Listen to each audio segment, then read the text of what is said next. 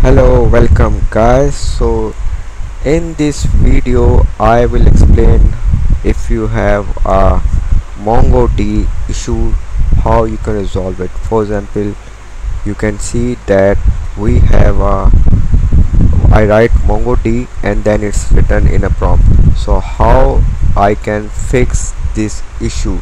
So to fix this issue there is a simple technique on a C drive I need to create a folder data if it's already not created. So I need to create a folder data and under the data I have a folder which name is db let's assume that there is no file and it's freshly created the folder. And now if I run mongod in prompt so you can see the server is running and it's created recreated the file. So now let's run the shell. I assume that you already have installed the shell mongodb shell. If not then you can download it from mongodb site whatever the latest version you have. So let me try to run the shell.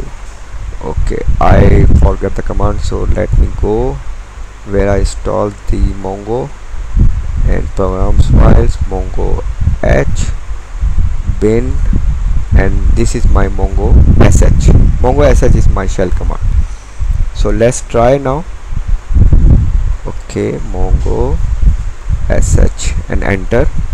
So by default it's connecting with our local environment 127.000 which 01 which means localhost if I want to connect with uh, Atlas so I need to go in a site and I need to copy the connection string there.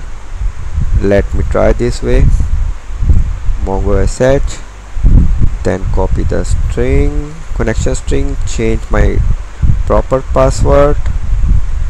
Okay so keep in mind this is a test environment so it's going to connect. Wait. Hold on. So it's now connecting. So cool. So we are now connecting. Now show me the database. We have database. And show me the collection. But before use the collection we need to use database. Like for example I want to use sales.